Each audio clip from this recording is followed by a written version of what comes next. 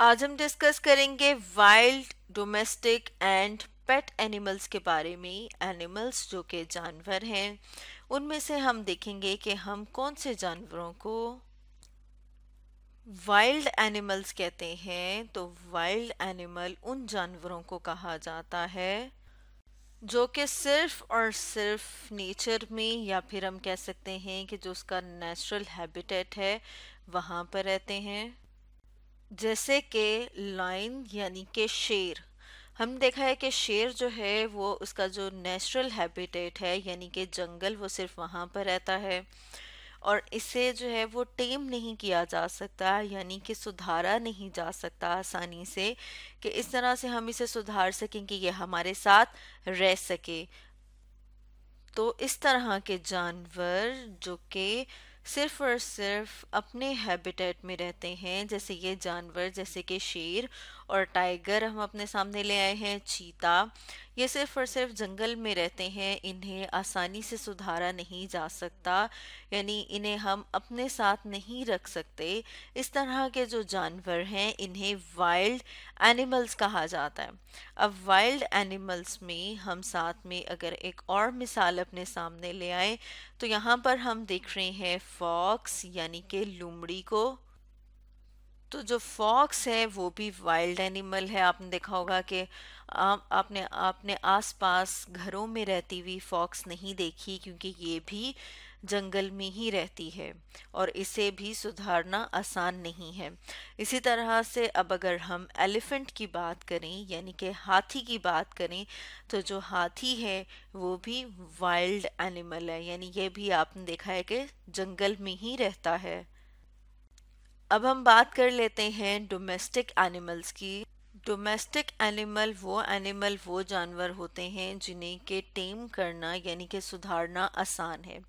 जैसे कि अगर हम यहाँ पर हॉर्स को देखें, घोड़े को देखें तो हमने देखा है कि घोड़े को आराम से सुधारा जा सकता है और ये इंसानों के साथ रह सकता है। और डोमेस्टिक एनिमल हम उन एनिमल उन जानवरों को कहते हैं जिन्हें इंसान अपने काम के लिए इस्तेमाल करते हैं। हम अपने सामने एक और मिसाल ले आते हैं, जैसे कि अब हम देख रहे हैं काओ यानी कि गाय को। तो हम देख रहे हैं कि गाय से क्या हासिल किया जाता है? दूध और इसके गोश्त को खुराक के तौर पर इस्तेमाल किया जाता है। इसी तरह घोड़े की अगर हम बात करें तो घोड़े को सवारी के लिए और सामान को एक जगह से दूसरी जगह पर ले जाने के लिए भी इस्तेमाल किया जाता है। तो इन दोनों जानवरों को हम देख रहे हैं कि इंसान अपने लिए इस्तेमाल करते हैं। अब हम कुछ और डोमेस्टिक एनिमल्स की मिसालें अपने सामने देख लेते हैं। यहाँ पर हम देख रहे हैं गोट को, यानी कि बकरी को। तो जो बकरी है या बकरा, उसके गोश्त को भी हम खुराक के तौर पर इस्तेमाल करते हैं। इसके अलावा हम देख रहे हैं कि जो बकरी है उससे दूध भी हासिल होता है। अब हम अपने सामने ले आए हैं शीप यानी कि भेड़ को। तो जो भेड़ है, इसके ऊपर ऊन सी मौजूद होती है, इसे भी इस्तेमाल किया जाता है। इसके अलावा इसके गोश्त को भी इस्तेमाल किया जाता है और जो बकरी और भेड़ है, ये इंसान अपने पास रखते हैं, यानी कि इसे इस्तेमाल करते हैं एज अ डोमेस्टिक एनिमल तो या, हमने देखा है कि बकरी को, भेड़ को, इसके अलावा घोड़े को और बैल को जो है, वो इंसान अपने पास रखते हैं और इनसे फ़ायदे हासिल करते हैं। तो ये क्या हैं? ये डोमेस्टिक एनिमल हैं। अब अगर हम बात करें पेट एनिमल्स की पेट एनिमल्स वो जानवर हैं जिन्हें इंसान अपने लिए, अपनी खुशी के लिए यानी अपनी इंजॉयमेंट के लिए या फिर हम कहेंगे कि अपनी कंपेनियनशिप के लिए रखता है, यानी कि अपने अकेलेपन को दूर करने के लिए, और वो नुकसान नहीं पहुंचाते, आसानी से ट्रेन हो जाते हैं टीम हो जाते हैं। उन्हें कहा जाता है पेट एनिमल जैसे कि यहाँ पर हम अपने सामने देख रहे हैं कैट बिल्ली को।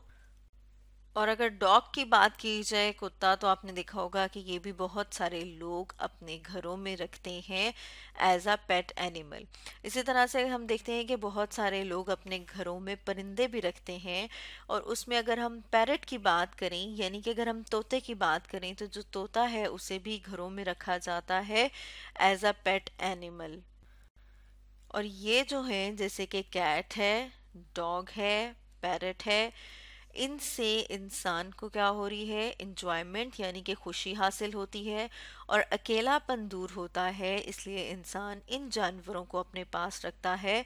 और इस तरह जो जानवर रखे जाते हैं, उन्हें कहा जाता है पेट एनिमल्स तो स्टूडेंट्स आज हमने डिस्कस किया wild domestic and pet animals के बारे में।